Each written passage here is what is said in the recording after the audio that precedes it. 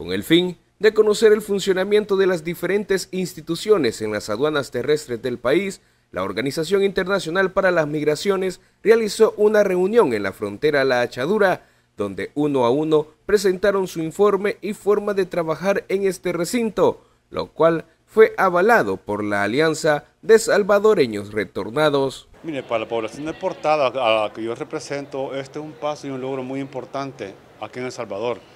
Si así son todas las fronteras, con estos servicios yo creo que estamos en la ruta correcta, de una atención especializada a las personas retornadas y a las personas migrantes.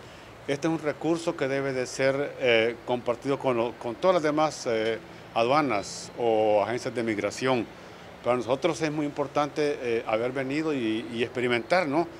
Con nuestros propios ojos, ver por lo menos este, todos los servicios que aquí se ofrecen. A la reunión se hizo presente el alcalde Adín Cetino, quien observó varias de las necesidades y carencias de algunas instituciones aduaneras, específicamente con el sector salud. Muy agradecido con las instituciones que nos pudieron hacer parte de esta mesa, muy, muy importante, muy necesaria, donde están varias instituciones, Policía Nacional Civil, eh, Migración, OIM, CONNA, eh, y DEMO, eh, hay muchas instituciones más. Así es de que en este día vamos a ver de qué manera nos ponemos a, la orden ahí eh, sobre hacer una salita de donde puedan eh, atender a, los enfermos que vienen e ingresan de otro país y de esta manera pues eh, que seamos más efectivos acá en esta aduana Y, y, pues darle una bienvenida